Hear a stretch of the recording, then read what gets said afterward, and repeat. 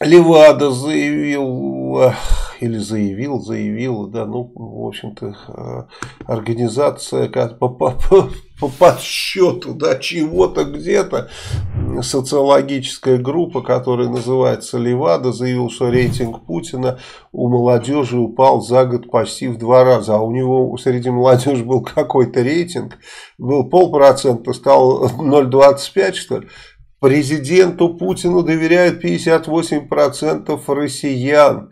Это общественное мнение заявляет. Только что говорили 62, теперь уже 58. Никто ему ни хера не доверяет. Кто может такому мудаку доверять? Да и доверяют. Минстрой предрек российским субъектам рост цен на жилье. Ну, я даже и, в общем-то, и не сомневаюсь, если бы он предрек падение цен на жилье цена квадратного метра будет почти 50 тысяч, 49 173. Иреть. Минтруд предложил упростить порядок установления первичной инвалидности, но если что-то упрощают, значит это будет так сложно. В Госдуме предрекли Приднестровью судьбу Донбасса не будет. Там уже был все. Там уже был. То, что случилось в Донбассе, там в Приднестровье случилось в 90-е годы. Поэтому ничего этого не будет. Пусть там в этой Госдуме успокоятся, да? Не, не дождутся они. Я, я представляю, сколько людей в Приднестровье сейчас все поняли.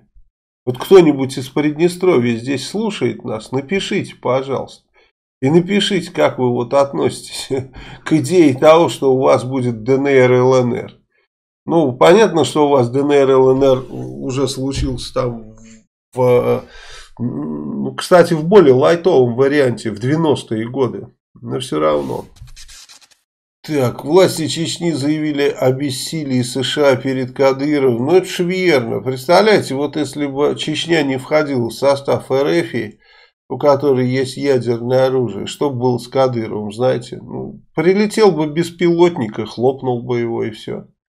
И все бессилие сразу же ушло. Ну, вот то, что Чечня формально считается в составе России, очень здорово защищает Кадырова от беспилотников.